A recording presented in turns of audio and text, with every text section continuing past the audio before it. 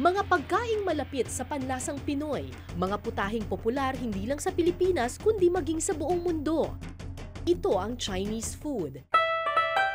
Pero ang mga pagkaing ito lume-level up sa mga espesyal na okasyon, lalo na sa pagdiriwang ng taunang Chinese New Year. Pinaniniwalaan kasi na ang mga putahing ito hatid ay hindi lamang linamnam kundi nagdadala rin ng swerte at kasaganahan.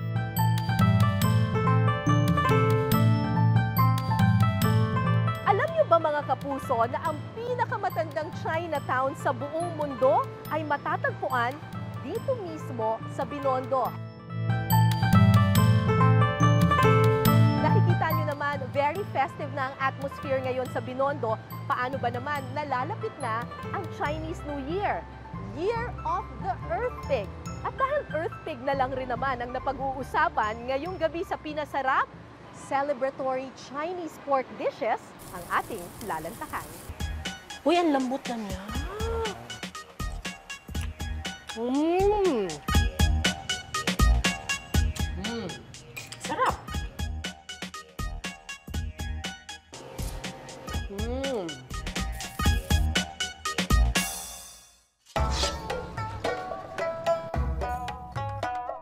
Anim na araw na lang sasalubungin na natin ang taong 2019 base sa traditional Chinese calendar. At ayon sa Chinese zodiac na binubuo ng 12 animal signs, ang taong 2019 tinaguri ang Year of the Earth Pig.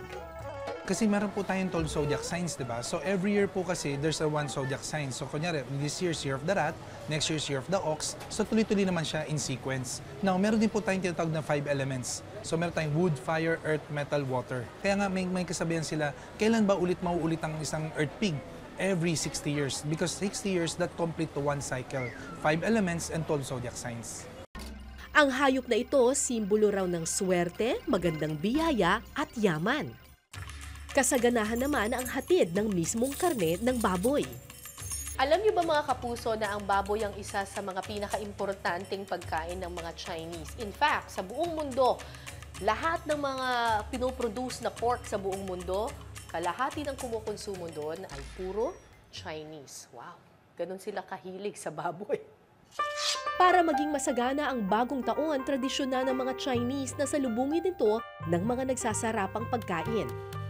Pero kung gusto nyo raw magdoble-doble ang inyong swerte, ngayong Chinese New Year, maghanda ng mga swerteng pagkain na ang pangunahing sangkap, walang iba, kundi pork. At kung Chinese pork dish na pinakaswerte ang pag-uusapan, marahil ito na ang pinakabuenas dahil ang putahing ito gawa mismo sa isang buong baboy ang Chinese dish na nahahawig sa lechon nating mga Pinoy, ang Hauruchu o roasted suckling pig. Sa Chinese restaurant na ito sa Clark, Pampanga, roasted suckling pig ang putahing bumibida. Chai Garden started 2007.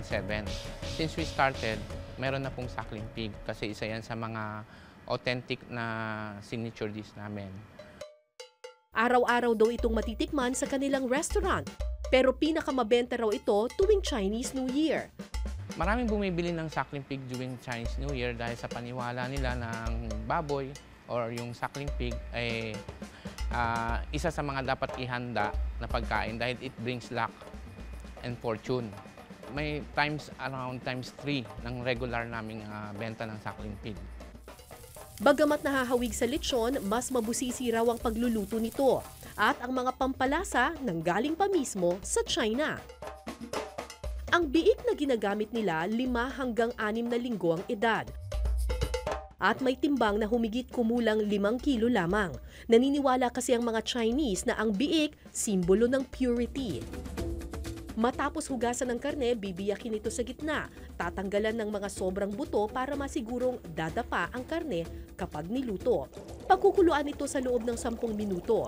Pagkahango, papahiran ng laman nito ng mga pampalasa. Pagkatapos, itutuhog at itatali ito gamit ang iba't ibang bakal. Ang balat naman nito, huhugasan at pupunasan. Sa kapapahiran ng pinaghalo-halong puti at pulang suka, honey at rose wine na nagtatanggal daw ng amoy ng baboy at nagbibigay ng matamis na lasa sa balat nito. Kapag nailagay na ang mga pampalasa sa baboy, patutuyuin ito ng magdamag. Kinabukasan, iluluto ang biik sa isang customized oven sa loob ng isa't kalahating oras. Kapag luto na ang laman, iihawin naman ito sa pugon na diuling sa loob ng 30 minuto.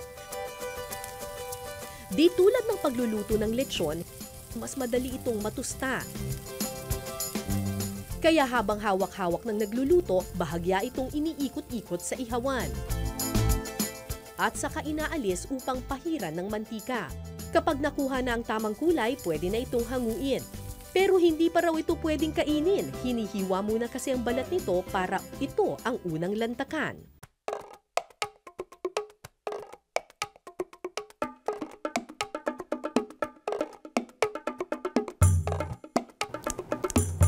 Sobrang lutong ng balat, tsaka malinam naman yung karne niya. Para kontra umay, kinakain nilang roasted suckling pig, kapares ang tinapay na kung tawagin nila, kuwapaw.